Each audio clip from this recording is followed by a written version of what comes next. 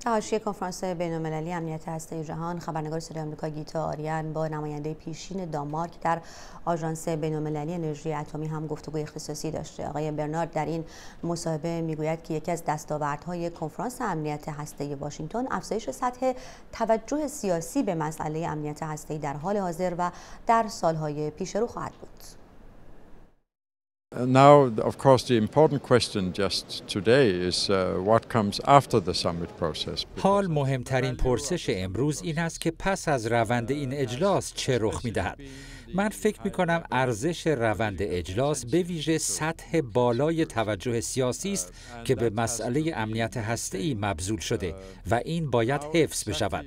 اینکه چگونه حفظ خواهد شد دانستن آن دشوار است ولی یکی از امکانات این است که کنفرانس های سازمان بین‌المللی انرژی هسته‌ای در مورد امنیت هسته‌ای که هر سه سال برگزار می شود کانونی باشد برای اینکه این سطح توجه سیاسی ادامه یابد. Shabbat.